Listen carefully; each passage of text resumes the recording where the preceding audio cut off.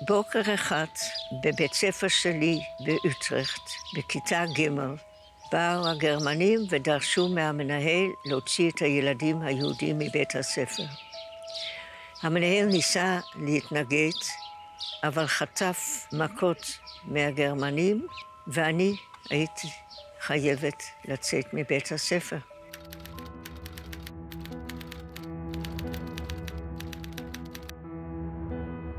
אבא שלי נפטר מתת תזונה ומתשישות. אחותי הייתה חולה בשחפת. אימא שלי הייתה מאוד מאוד חולה במגפת טיפוס הבערות, זו הייתה מחלה נוראית. אחר כך גם אני חליתי בזה. ב-9 באפריל הם פתאום החליטו להוציא אותנו. אז אחי ואחותי סחבו את אימא שלי שבעה קילומטר לרכבת. שבועיים הרכבת נסעה, זגזגה בגרמניה, אוכל לא נתנו.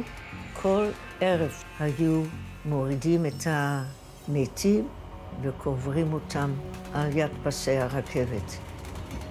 זה היה 16 באפריל, והיום הולדת שלי ב-17 באפריל, ואימא שלי באותו ערב נכנסה לקומה.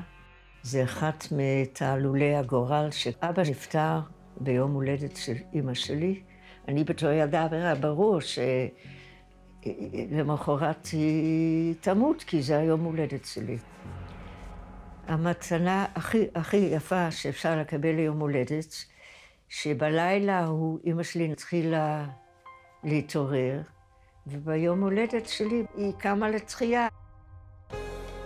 עליתי ארצה עם גרעין של הבונים, התחתנתי והגענו לקיבוץ צורעה.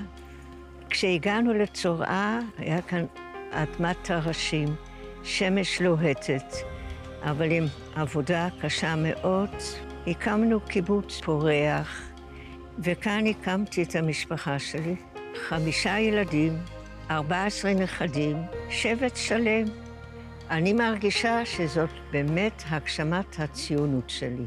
הבן שלנו, רן, היה טייס בחיל האוויר, בארקיע ובאל על. לצערנו הגדול מאוד, הוא נהרג בתאונת מסוק לפני שמונה שנים.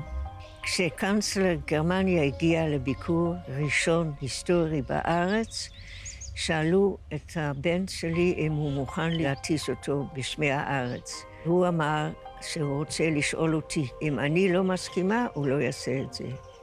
אני מיד אמרתי בוודאי, ומאוד התרגשתי, שהבן שלי, טייס בחיל האוויר של מדינת ישראל ריבונית, יטיס קאנצלר גרמניה. זה בשבילי אולי תמצית התקומה